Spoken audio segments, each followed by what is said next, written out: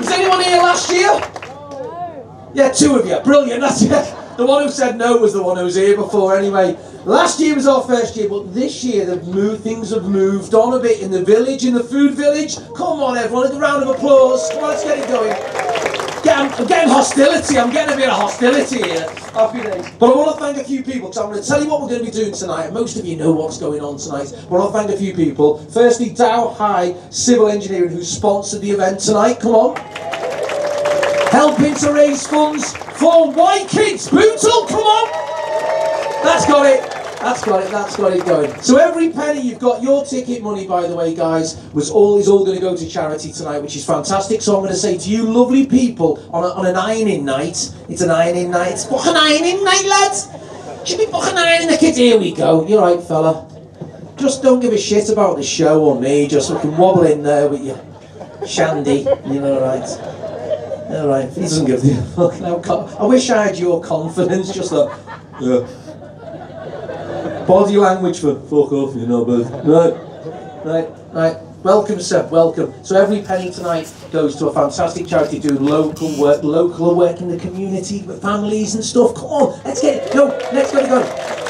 I am Brenham, your. Ahead of us, oh, ahead of us we have five, oh, can I say five? Nine, nine fantastic acts. Five, that's what I was going to say. Five in the first half. Oh, let's do the running order. I love doing the running order. It always gets everyone getting like, fucking hell, I'm into this now. You alright, fella? No, you're not. No, I didn't think so. Your fucking face wasn't. Body language of talk to me, lad. I'll stab you. Right, relax. Well, you're holding a shit in that app. Did you hear that, everyone? He said that I'm holding a shit in. That comes under the clauses. You know you're in bootle when. And someone in the front row is just openly honest like that. I'm holding a shit in, lad, yeah. Nine months. Wonder what was going on, fella. Right, right. So, it is, and we need to encourage. I'm going to tell you about what's going on, what the workshop's been about, because a lot of you are friends of the Acts tonight. Let's get behind them. Get behind them! Right, not a normal kick, you, none of you fucking. He just, he's going, I'm quite pleased with that, like, you know. Right. Applaud your honesty, mate. Applaud your honesty. Right, so, so what we've got. Five acts in the first half. Come on. Then we have an interval. Bar's to reopen. Last chance to get some grub in the village. Yeah, then we have four acts. And then straight as soon as the, fin- the show finishes, we're going to reopen the Mayflower. Come on. Uh, only six of you know what the Mayflower is. The rest of them going, oh, what? No, what? I'm not from round here. What is the Mayflower? It closed the little bar there that everyone. It's closed in the Strand of Mayflower. Look at him as if he doesn't know. He goes, fucking titty bar, lad. Titty bar, lad. Yeah. It's the bar. It's the bar. Okay, bollocks. We're not going in the. We're going to get our kit off and we're going in the canal. We're going to swim to Wigan. Get a pint in it and then straight back here. Yay! Right. So that's what we're going to do. So if you don't know what's going on, I, mean, I know everyone knows what we've been doing over the last six weeks. All of the comedians on tonight never ever done stand-up comedy before. Yes, yeah, yeah, yeah. Never ever before. Over six weeks, I've been training them, teaching them, showing they've been writing their own material. Come on, original, original, yeah. And, and the stage performance, dealing with fucking knobheads in the front row, mate. Been teaching them.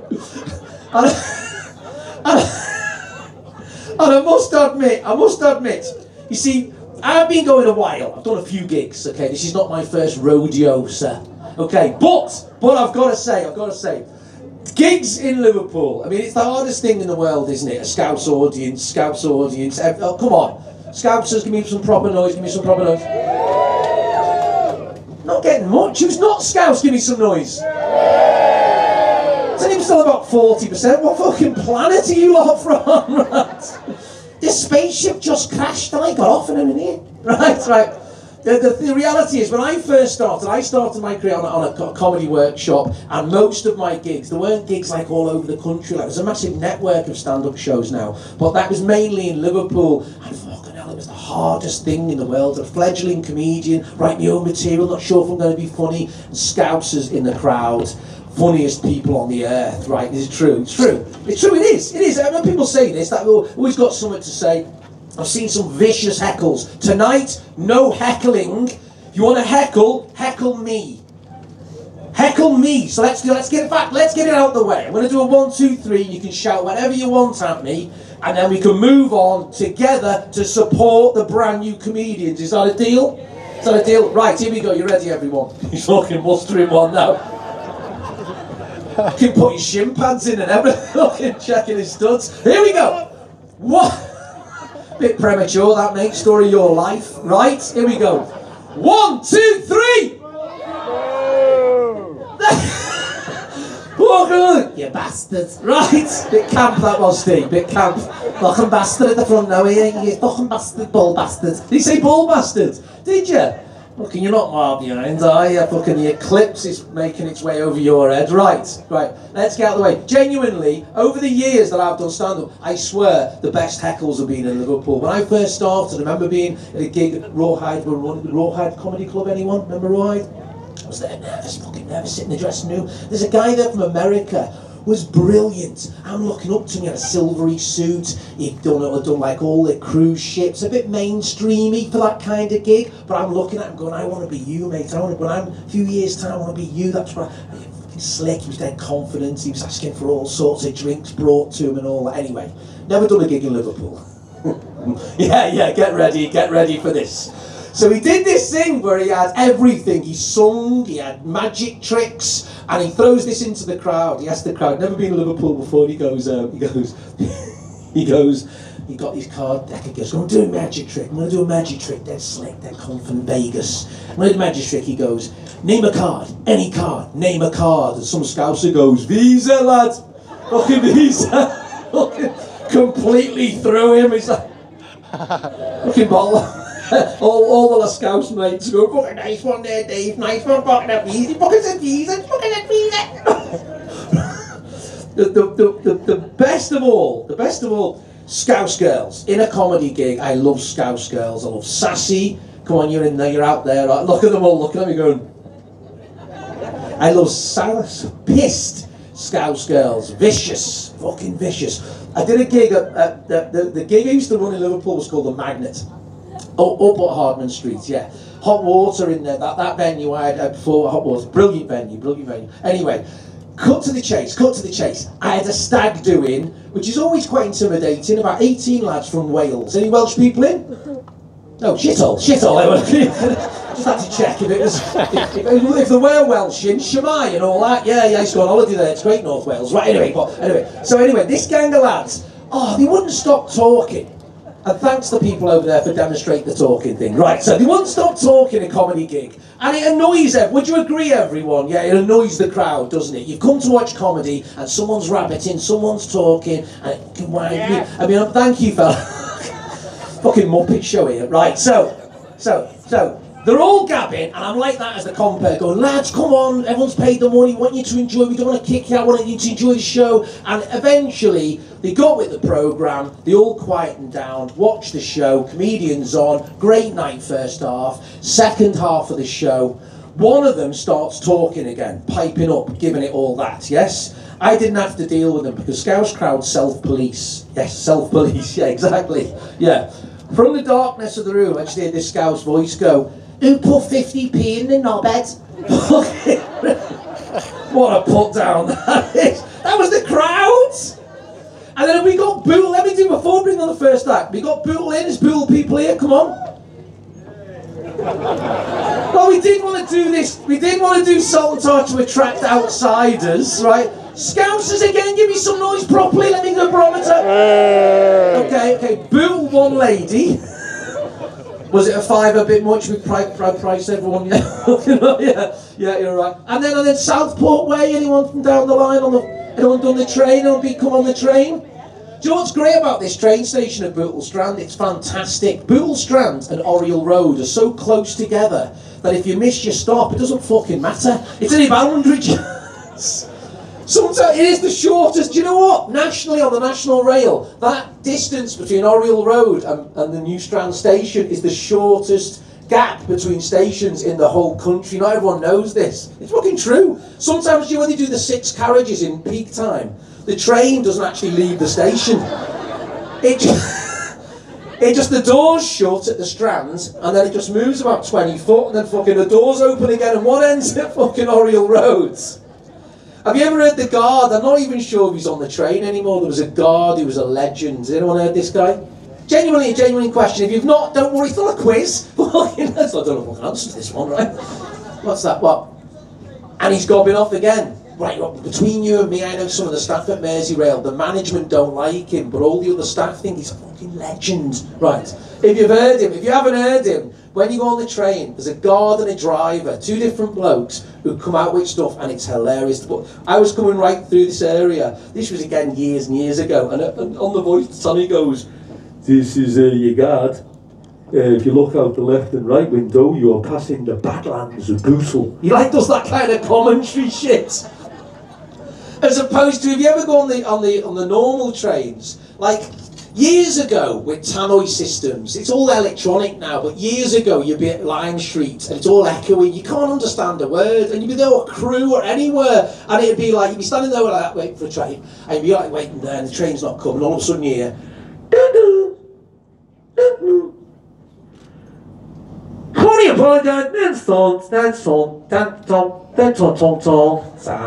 Crewe, once and uh, cancelled. You're like, fucking hell. You're trying to interpret. You need an Enigma machine to understand the tabloid announcements. Now it's all slick. It's electronic, especially on the trains. They've upped the game now. I went to London and everyone slags off the traffic travel stuff in this country. The motorways, they slag off, slag off potholes, slag off the train system. It's the best. Two, two hours, 50 minutes from Lime Street to Euston is a brilliant service. Don't care what anyone says. We're coming in, into London, and I haven't been on the trains for years. I'm coming in, and over the tannoy comes the voice of the driver. It was nothing like that shitty blah, blah, blah, shit they used to get years ago. It's brilliant. It reassures you. You're like, like a pilot of a plane. You hear the voice, the voice, the yeah, exactly. I'm coming in here.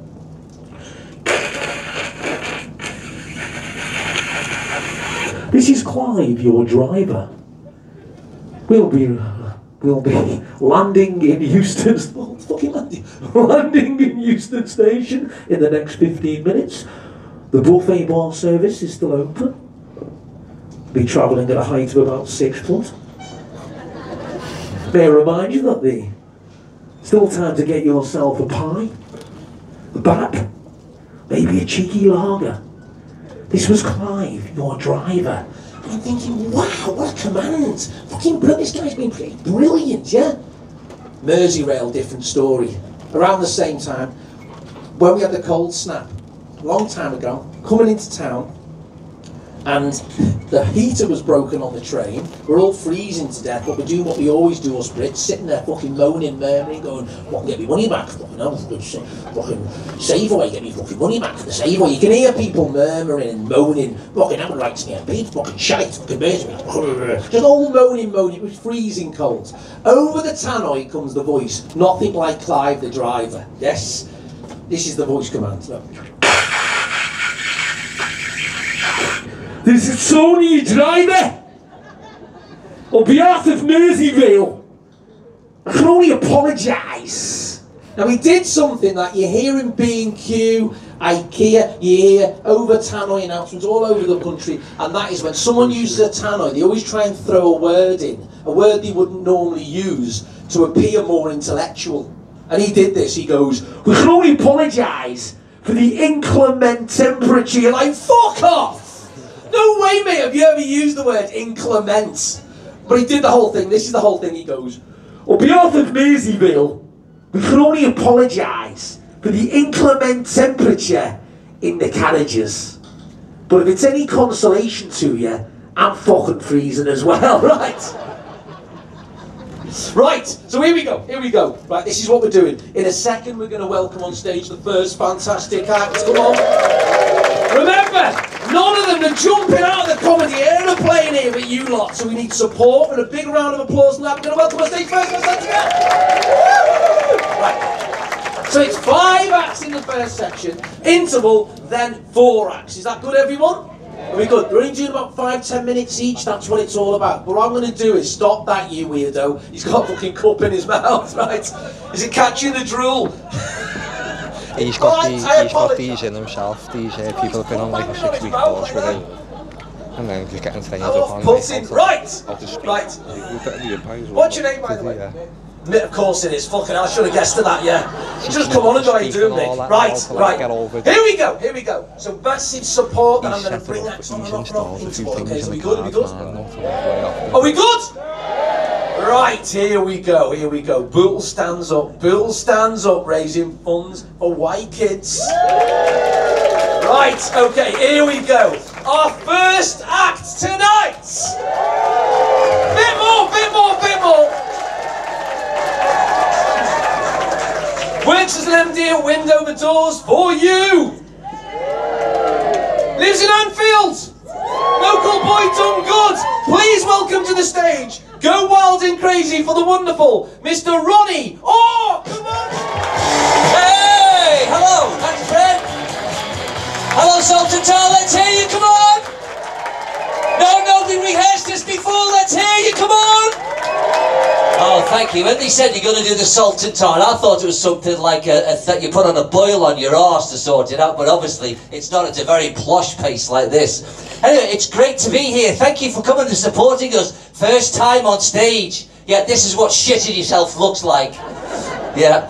So uh, Bren asked me to come and do some uh, some comedy, but I actually volunteered to help out on a night like this, and then, and then he said, "No, no, I want you to do the actual course." So six weeks, here I am, literally achieving a lifetime. So thank you very much for being here, and thanks for the empathy. Thank you very much.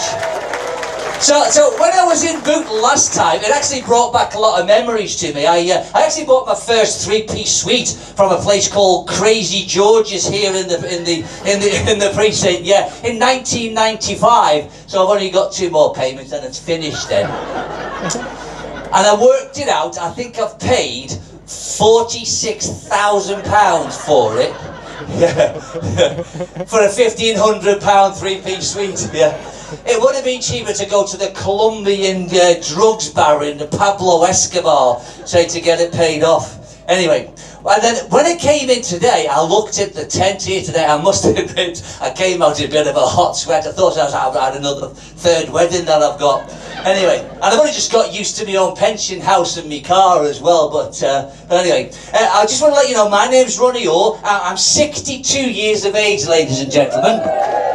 Yeah, what a way to start it. Anyway, so I, I like to keep myself fit. I go to the gym regularly. I, I eat healthy. I do a bit of cardio. I've got the tan and the teeth. And I've ended up looking like George Michael two days before he died. Yeah. Anyway. I, I'm one of... yeah. I feel like that as well, to be honest with you. Anyway, so um, I'm one of 12 children. In fact, I'm the 12th of 12 children, so we don't need to go about no TVs and all that. And I was always told that was an afterthought, which really upset me. But it turns out, after the 7th, we were all told that. anyway, so, and in our house, it's actually quite funny eating because obviously 12 of us, it's over three sittings, and we all eat alphabetically. And by the time our Zebedee got down, there was fuck all left for him to eat. Because Albert, the fat bastard, had ate it all. yeah, unbelievable. So, uh, as a kid, uh, I went to school. Put your hand up if you've to school.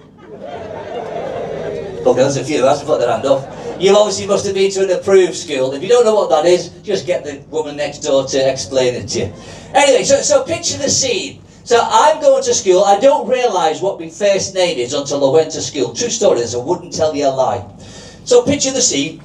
The teacher's calling the actual register out. So it goes something like this. Peter Himes, yeah. James Bennett, yeah. Sharon Coombe, yes, Miss, I'm here, Miss. Multitasking already from a very early age. Yeah. Ronnie Orr, I'm looking around like Stevie Wonder with ADHD. Ronnie Orr, you here? Still nothing. So the teacher walks up to me and goes, What's your name, son? Look, quick as a flash, I said, Little bastard, miss.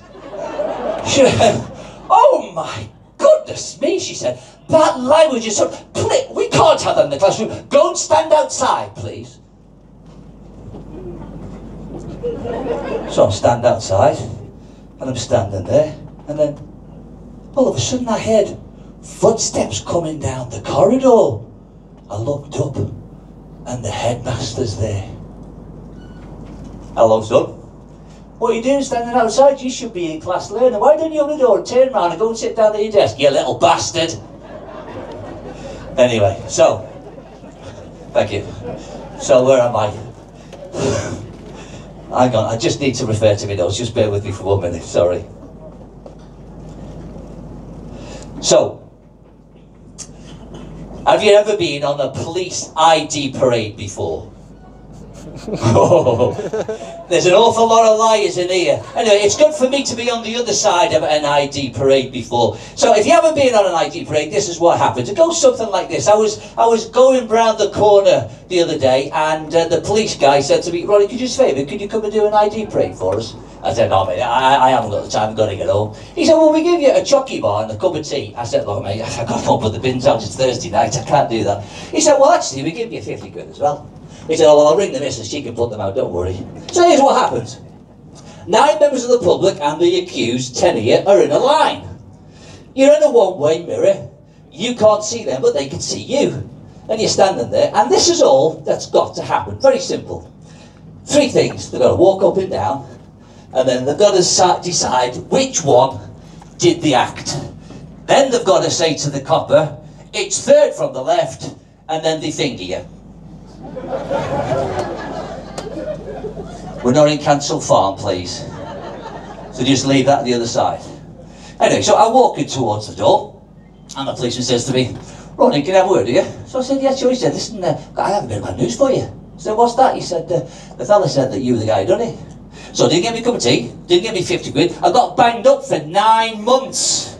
Yeah, but, hey, here's, where, here's the kicker. The fella said the guy who beat him up around the corner in the meeting looked like George Michael. Yeah. Bit of a throwback there. Anyway, I've got one last little story, then I'm through with this nightmare. I'm only kidding.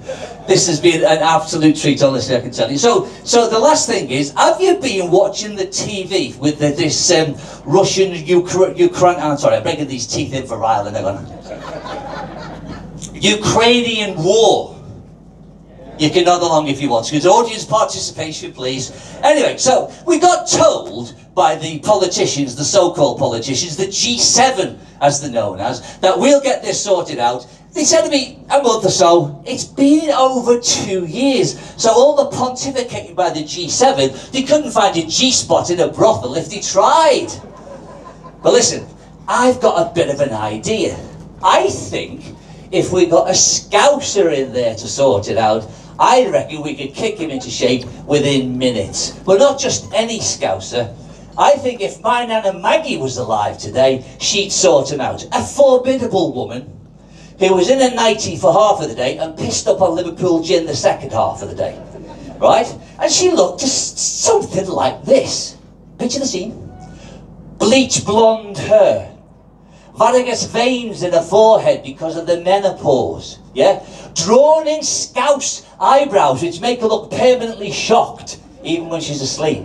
Yeah? 44 double D boobs which look like missiles. Yeah? She's got all the tattoos spelt right and she's wearing armbands because of the hot sweat because she's a woman of a certain age. And I think it goes something like this. Picture the scene. Putin's in his, in his office in the Kremlin, feet up on the, on the desk, gun in one hand, vodka in the other. Looking through his bifolding doors, because we've moved on from French doors now, haven't we? We've got bifolding doors now. And he's perusing at his empire. And he hears the rotor blades of a helicopter, so he goes out to investigate. And he's met with none other than menopausal Maggie parachuting down, armed to the hilt with a verbal attack and a baseball bat. Quick as a flash, she's in for the attack. Hey, you soft shite. Who do you think you're pointing that gun at? Do you think that's going to scare me? Well, you got another thing coming, fella. Because I just come from another war zone. called Kirkby. you obviously have never been Christmas shopping at the Strand, have you, you knobhead? So why don't you just stay there and don't move a foot, otherwise I'll kill you, alright? So we all know someone like that. Anyway, Nana Maggie's had three husbands, two have died, and the other one won't. So here she is, she's running towards him, kicking and screaming, waving her arms in the air, and then she realised, or doesn't realise, sorry, that her left tit has fallen out, hit the floor, caused a 10 on the Richter scale, and put Putin bang on his ass. Well, Putin is shitting himself. He's never seen a scouser before have a, a near heart attack and a near fit. She's right over him like this. You can have a look at me bald yet if you want. But I go, hey you, soft shite. Europe's hard Tennessee, you're not going any further, alright? So why don't you withdraw your troops now? Otherwise I'll give you a scouse kiss. Well, Putin is shitting himself. He decides that he's going to retreat because he knows there's a right tit attack about to come. Baggy goes in for the kill. Hey, you! If you don't stop this war right now, I'm going to shove this baseball bat right up your jacksie, dry. See how you like being invaded, loser. Ladies and gentlemen, I've been running all you fantastic. Thank you.